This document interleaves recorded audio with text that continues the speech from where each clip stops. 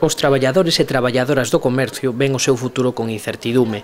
En xuño de 2013 expiran os diferentes convenios, seguindo a folla de ruta da reforma laboral do PP, e poderían quedar suxeitos únicamente ao Estatuto dos Traballadores, con salarios de 641 euros e inferiores condicións a todos os niveis.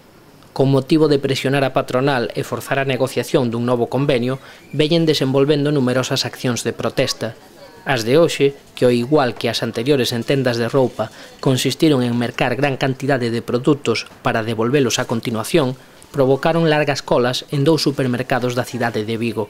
O que nos intentábamos era chamar a atención nas cadenas que están fundamentalmente na mesa, que é Gadis, Freud, supermercados moldes, Hipercel, etc. Tendas e cadenas que son máis pequenas, pero que a importancia da mesa de negociación a tiñen dúas empresas, que Gadis e Freud, que son as que teñen máis representación no convenio. E continuaremos así hasta que se senten a negociar e ademais de sentarse a negociar, vexamos que hai un viso de saída na negociación.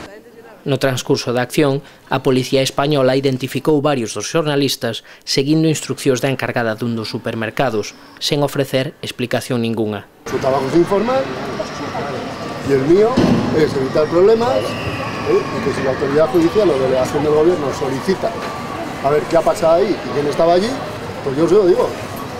a eso me pagan, cada vez menos.